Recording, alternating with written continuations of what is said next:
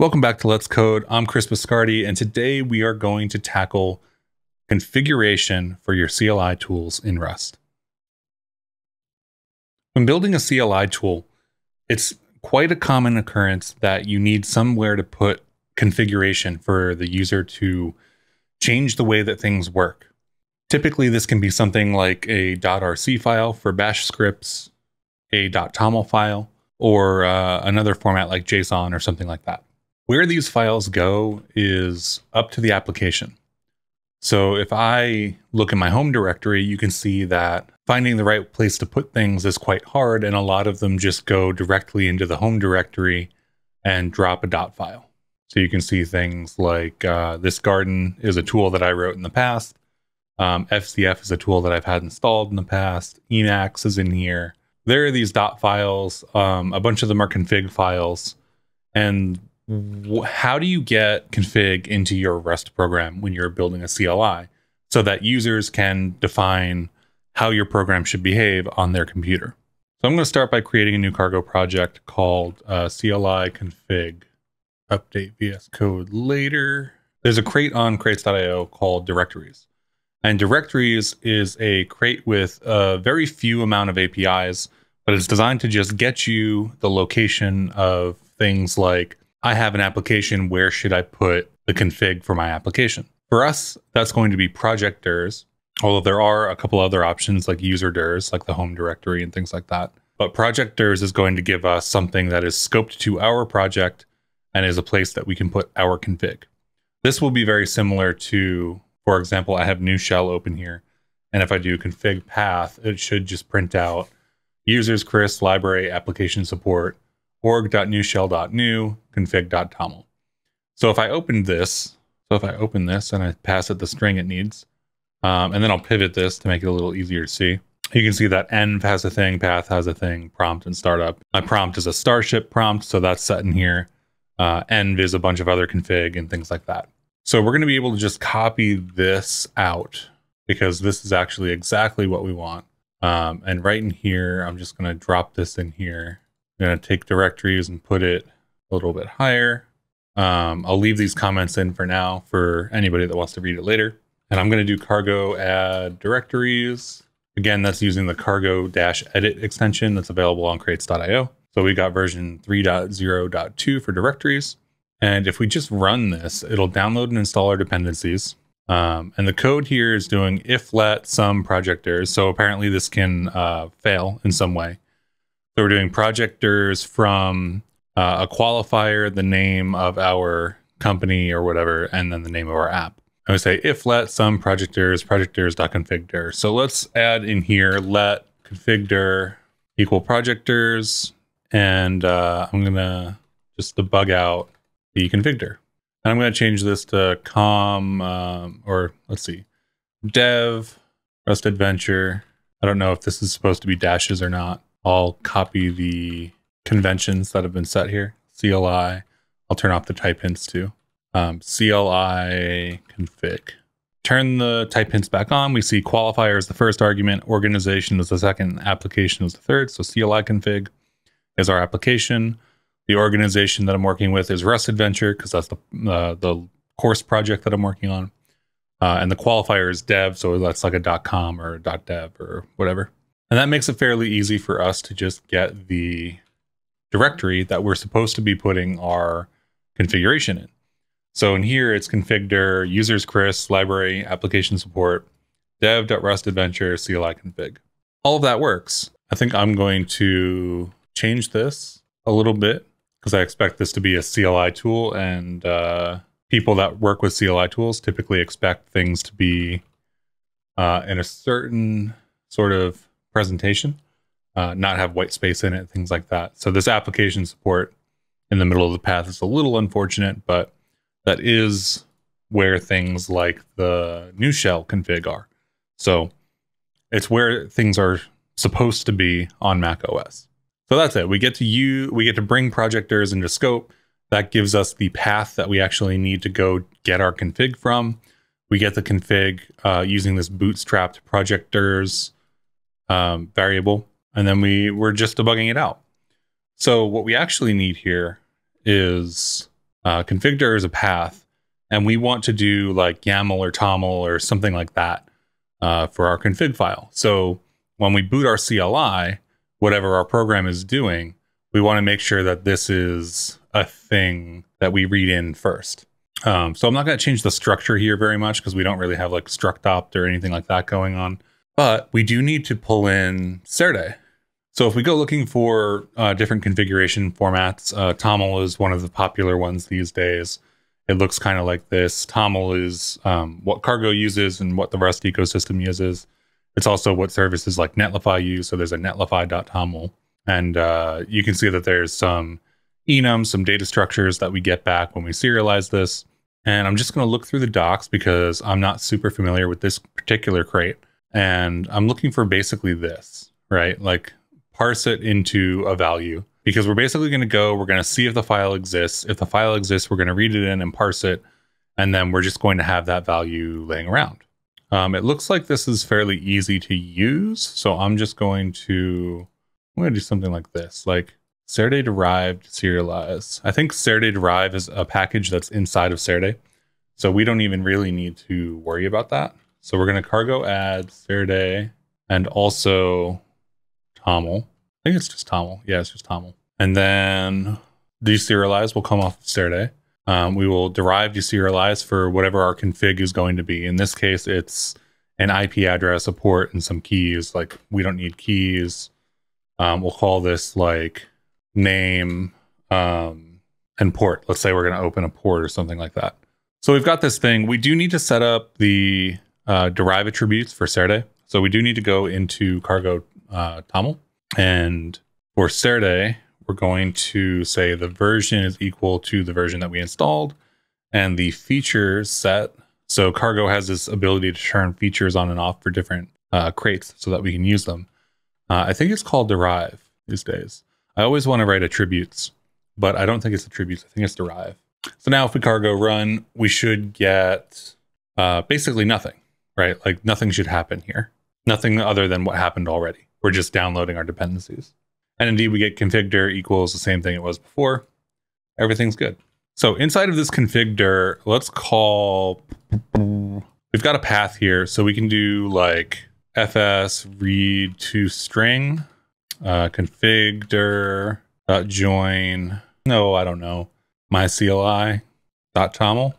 I do need to make this a string because it is a string and we can make this a result. So let config file equals that. Um, I believe that I have a problem here because I haven't I haven't brought uh, standard FS into scope, and I also am not. Um, let me just check that this is the actual issue. I'm also not handling that error. So this returns a result. A result is a enum that can return either the value uh, wrapped in OK or the error wrapped in ERR. So if I unwrap this, it will panic if that file doesn't exist. I don't really want it to panic, right? I don't actually care if it doesn't exist. If it doesn't exist, I just want the defaults. So I think I can do okay or or something like that. So let's see. Let's go to the result docs for Rust. And I'm going to click on the type instead of the module so that we get access to all these functions over here on the left-hand side. And or I think is what I was looking for. Returns result if the res if the result is error. Otherwise returns the okay value of self. That's good, but I want to unwrap this. So I don't really want or because or returns a result, right? We're, I want to take the result and I want to guarantee that it will be something. In this case, it's going to be like an empty string or something like that. But I want it to be something that we can pass into the TOML parse rather than being a result that we have to handle because I'm trying to handle the error by doing this. So this will be unwrap or. Uh, unwrap or does exactly what I want it to do. So in this case, we could do unwrap or empty string. And that gives us just the um, default here. I think this needs to be like dot to string because string literals in Rust are string slices. So the type of a string literal is the type of a string literal is nstr. And what this read to string is expecting is a capital S string. We haven't allocated the memory for this when we go to read this file. So we're reading it in and allocating at the same time which means that in this case, we want this to be a capital S string, which we've just successfully achieved. Okay, so we've got the config file, right? And that brings us to TOML. TOML, we need to parse this. There's an example right here for from str in the docs. Just going to copy that right out and say uh, we're going to let config, which is going to be a config that we defined earlier. This is our struct with a name and a port, uh, and toml from string. And we're just going to get rid of this for now. I think I'll keep that in a separate tab. But we're going to get rid of that and we're going to do config file here. And we need to pass in a reference because from str for toml is from string slice.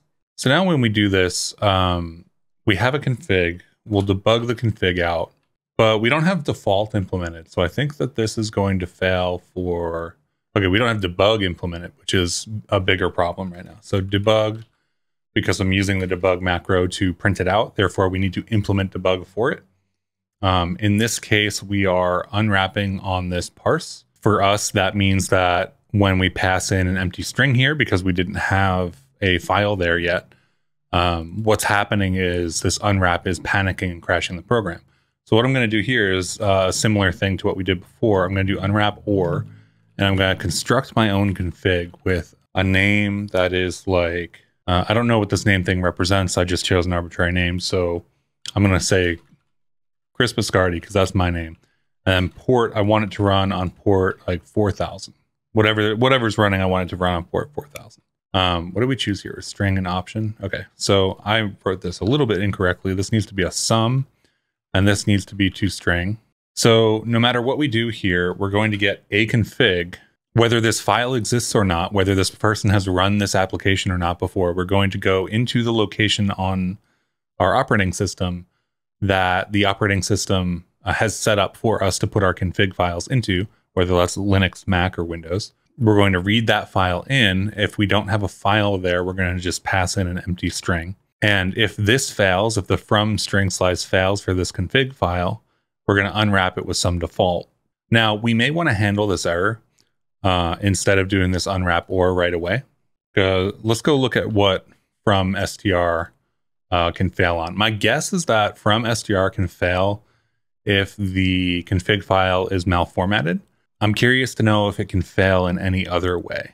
So let's go look for from str in the DE or for deserialize. Uh, we have from string, from string slice.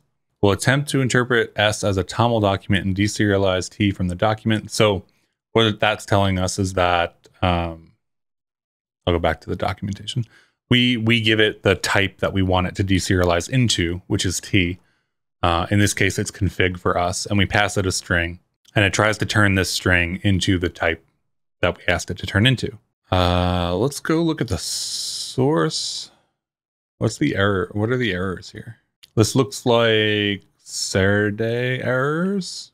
See, this is a TOML destruct error, errors that can occur when deserializing a type. So I just clicked on error, it sent me here.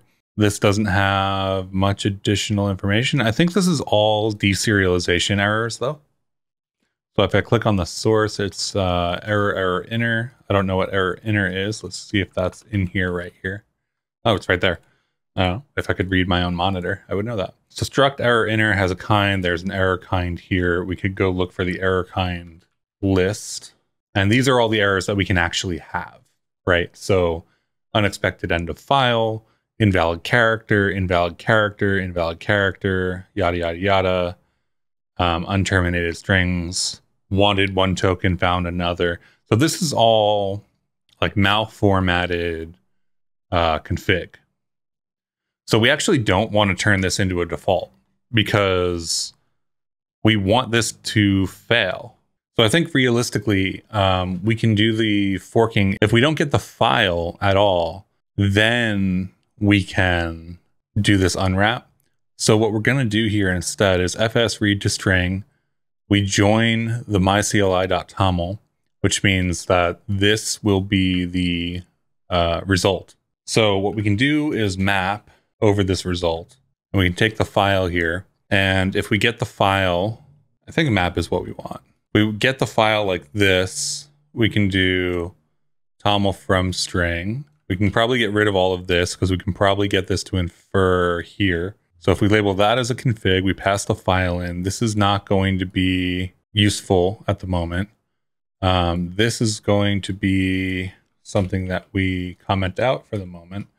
And then we're going to look at what Rust is actually expecting here. So Rust has told us that expected config found enum result, and that's in map. Um, I thought map will let me flatten. So let me go check map. Maps of result TE to result UE. Okay, so that just maps the result, which is exactly what we want it to do actually. But can we return a result from that? Because we want it to flatten as well. Is there a flat map in here? I know there's an and then, which I believe will flatten for us. So map lets us operate on the inner structure and then lets us return a result, I believe.